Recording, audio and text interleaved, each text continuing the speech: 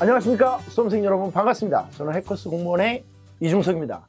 여러분들의 외롭고 힘든 수험 생활을 위해 저희가 뭉쳤습니다. 해커스 공TV가 새롭게 오픈을 하게 되었습니다. 힘든 수험 생활을 혼자 버티기 힘드실 때 거짓 정보가 아닌 정확한 수험 정보를 확인하고 싶을 때 저희 해커스 공TV에서는 과목별 대표 선생님들이 합격에 필요한 꿀팁 그리고 합격생들의 합격 비법 이런 것들을 모아서 여러분들에게 생생하게 전달해 드리겠습니다. 자, 공부를 하시다 보면 우리 수험생분들은 궁금한 게 참 많죠. 이 궁금증을 우리 해커스 공TV에 질문을 좀 해주시면 저희가 성심성의껏 답변을 해드릴 수 있도록 하겠습니다. 8월 13일 저녁 8시 해커스 공TV가 여러분들의 수험 생활을 확실하게 바꾸어 드리겠습니다.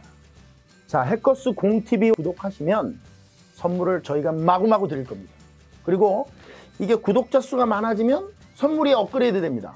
그러니까 주변에서 이게 공부하시는 분들 잘 어? 꼬셔가지고 같이 어? 같이 들으실 수 있도록 하시면 좋습니다. 그러면 저희가 여러분들이 깜짝 놀랄 만한 선물을 드리겠습니다. 8월 13일 저녁 8시 해커스 공TV에서 라이브 방송으로 뵙겠습니다. 자, 그러면 라이브 방송에서 뵐 때까지 공부 열심히 하고 계십시오. 라이브 방송에서 뵙겠습니다.